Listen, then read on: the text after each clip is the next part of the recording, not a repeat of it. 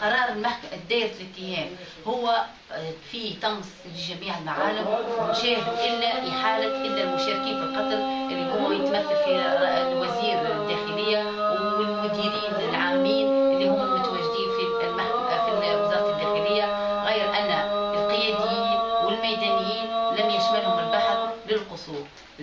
المحكمة العسكرية كانت قاصرة على معرفة بعض العديد والعديد المراسلات لوزارة الداخلية لمعرفة التعزيزات اللي كان يشملها مثلا تاريخ 13 جانفي بالكرم مثلا ما تعرفش تعزيزات شنو ونحن نعرف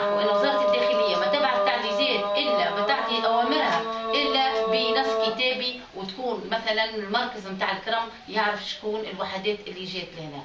هذا الكل داخل في إطار عملية طمس للحقيقة وكانت الأحكام هذه مبتورة بالفعل مبتورة واللي مقاصره على معرفة الحقيقة. وهذا علاش أحنا نشاهدوا؟ معناها كرده فعل.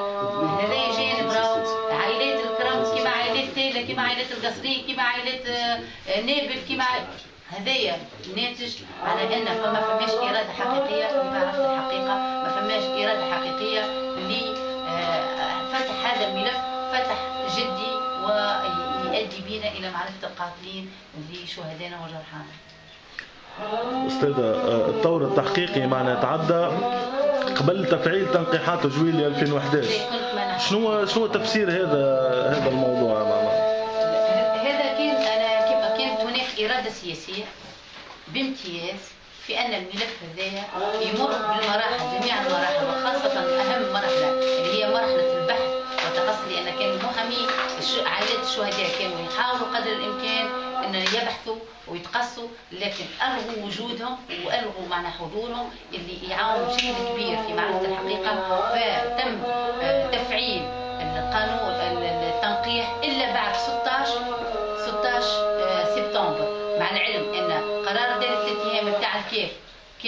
كان بتاريخ 9 سبتمبر وقرار دائره الاتهام نتاع تونس كان 15 سبتمبر.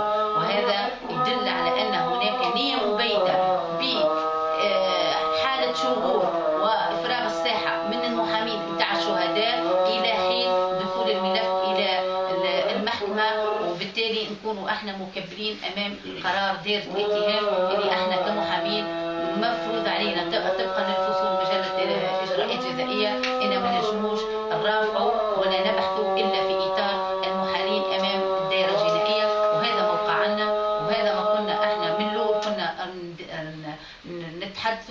بصوت مرتفع وننادوا ونقولوا راهو راهو مش معقول الملف يتم بالطريقة هذه على أساس أنه خبروه خبروه.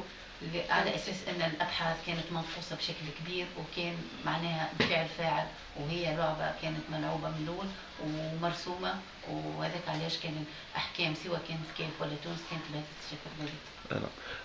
أستاذة فما محللين ومتابعين القضايا شهداء الثورة يعتبروا قضية شهيد أمين الجرامي قضية نموذجية في آه، السلبية اللي يتعامل بها القضاء العسكري مع قضايا شهداء لو كنت تحكي لنا على الموضوع هذا لو كان عندك آه، تفاصيل وعلم بالموضوع.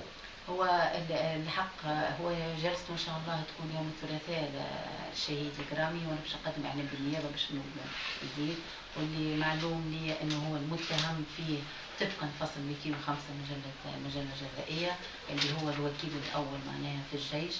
هذه التفاصيل وأحنا آه حول الله معناها رغم أن فصل 205 الناس كل تعرف شنو طريقته ما يتعداش لا 201 لا 202 اللي هو القتل العمد وإن كان الملف يحتوي على وجود القتل العمد رغم ذلك.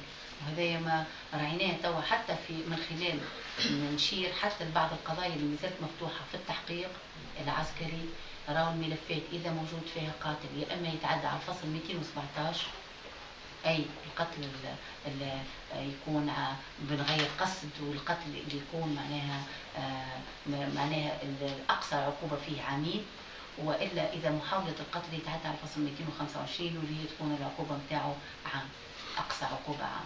وبالتالي معناها في كل الحالات القتلة كلهم في حالة آه، معناها هما بريئين وفي حد سراح ويتمتعوا بحرياتهم. عكس العائلات الشهداء اللي هما نحن إحنا نطالبوا معناها بأكثر جدية إحنا كمحامين نطالبوا بالعدالة سواء كان للمتهمين سواء كان لعائله الشهداء إنصاف الناس اللي الكل. كلاب مات. لكن مش عبيد. معناها لكن كل واحد ياخذ حقه. ناس ماتت معناها حقيقة معناها حق وحق معناها. وبالنسبة لقضية الشهيد أمين الجرامي بصفه خاصة أستاذة آه، آه، قداش فما من expertise balistique في ال- في ال- في القضية يعني؟ آه، ما زلت ما طلعتش على تفاصيل الموضوع. ولكن يمكن آه، بعد سواء- الجلسه هذه إن شاء الله.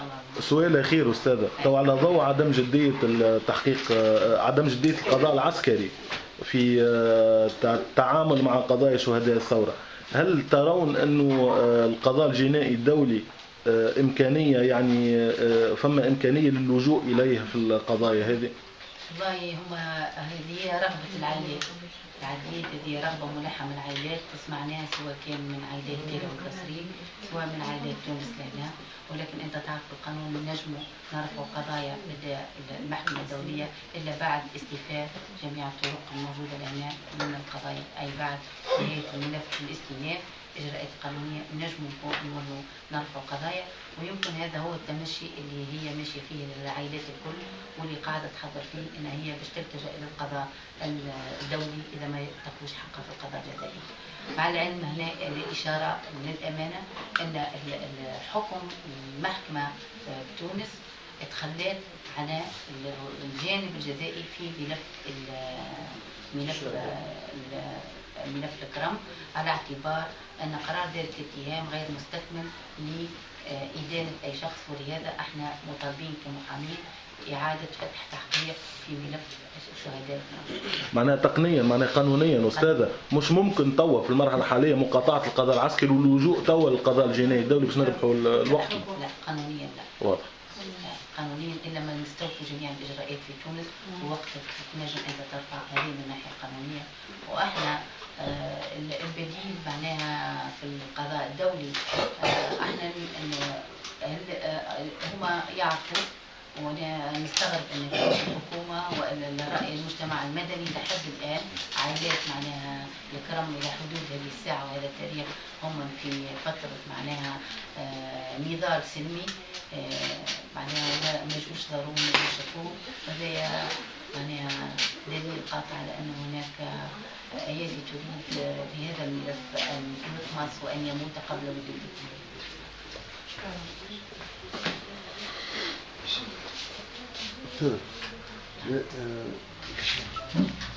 ما تشوفش في التستر الكبير هذايا على على الأدلة والقضاء في العمل العسكري هذا؟ كانوا نظام الرجال حاجته بشكون يحب يقتل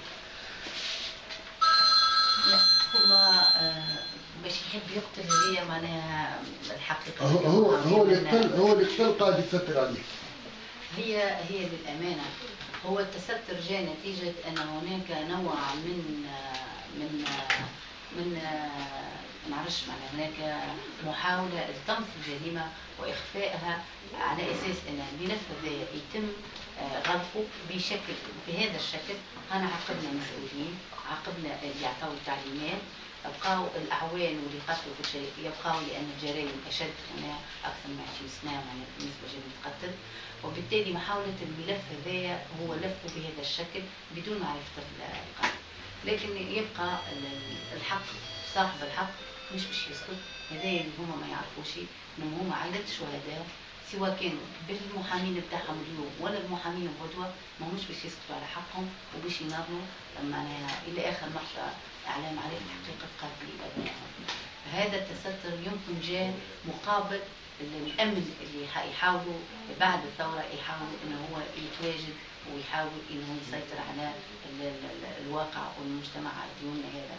كان هذه المعادلة الصعبة اني أنا نخلي الأمن في حالة صراع مقابل طمس حقيقة قتل شهدائنا هذه المعادلة ما هيش تتحقق لأن أصحاب الحق ما همش حتى وإن كان أحنا كمحامين ناظروا يمكن في فترة ما نرتاحوا لكن هنا ما نتصورش باش يرتاحوا اكبر دليل الإعتصام اللي عاملين عائلة ترامب واللي تشاهدوه الحلقات القادمة من سواء كان من تيلر ولا من قصرين ولا من هيدي نيبل ولا كان في نفس المعاناة اللي تعانيها أهالي الكرام يعانوها بقية عائلات الشهداء كذلك الأمانة الكرام فيها ماتوا برشا آه، وكذلك نادي ماتوا فيها برشا وإلى حد الآن ما فماش قتل كذلك الجسرين 14 شهيد.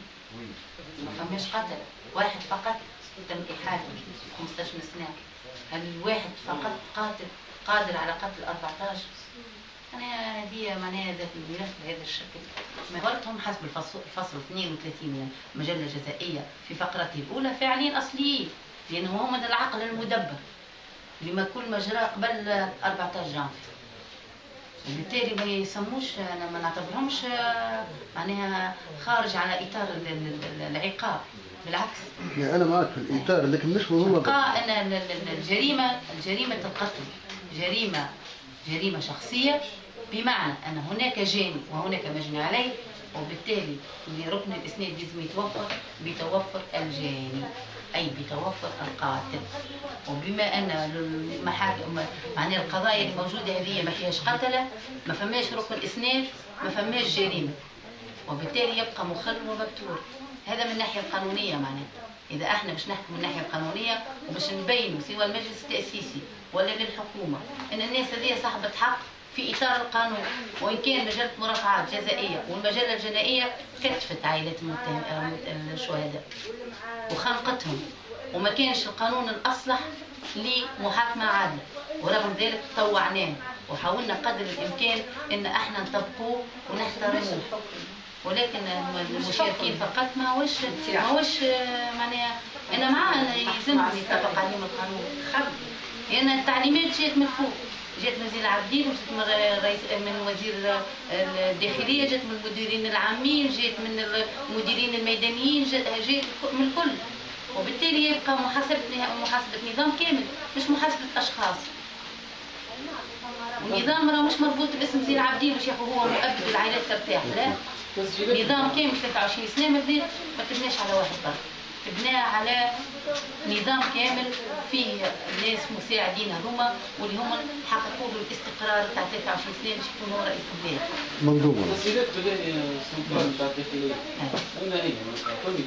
هذيك المفارقات الكبيرة التسجيلات الموجودة ساعة نبدأ بالتسجيلات إحنا صدر معناها حكم تحذيري من قبل المحكمة العسكرية في تونس على أساس فما معناها مطالبة الحرس الوطني قاعه العمليات بالحرس الوطني بالتسجيلات. وما راعنا إلا ترجع قاعه الحرس وتقول راهو آه، الجهاز كان معطل لمدة ما بين 17 و 14 وفجاه بعد 14 ولا يخدم معناها هذا دليل قاطع ودليل ملموس على الإرادة الحقيقية من وزارة الداخلية في طمس معالم الجريمة. لأن من خلال معناها التسجيلات هذه بالدليل القاطع ظهروا أن هناك تعليمات. أكيد مرت من قاعه العمليات بطرق النار وبأخذ الاحتياطات وجميع الاحتياطات اللازمة في دفن واضطهاد ومعناها الحراك الشعبي اللي وقع في تونس. وهذا إضافة إلى ما تقدمت به قاعه العمليات بتونس فهو ماذا يحكي على على أمير قطر ولا أمير السعودية في في في تونس وكيفاش هذايا موجود في الأحداث معناها تصور الناس تموت يوميا وهو يبحث لي على أمير من أمراء في صحراء الجنوب التونسي إيش قاعد يعمل وهل هو عنده حماية كافية ولا مش كافية. هي ما قدم ونعرف إحنا الطمس تم في المرحلة اللي أنا بعد سقوط بن علي. قالت وزارة الداخلية بنفس عوانه وبنفس مديريه لمدة معينة. إحنا نعرف إن الفريعه بقى إلى حدود 28 جانفي وبنفس المديرين وقتاش نحت المديرين إلا بعد ما جاء راشدي هذه الفترة هذه كاملة هي كافية كافية لتمس جميع معالم الجرائم. بقى سؤال هل أنتم كي تطمسوا كوزارة الداخلية هل أنتم قادرين اليوم على الاستمرارية والعيش مع عائلات شهداء بدون معرفة حقيقتهم؟ هل يمكن المجتمع التونسي أن يجد معناها التوازن نتاعو في خضم هذايا مش باش يبقى وبالتالي معناها هي العملية ممنهجة سواء كانت في في مرحلة الغنوشي ولا في مرحلة السدسي ولا في حكومة توا معناها. نفس المنهج.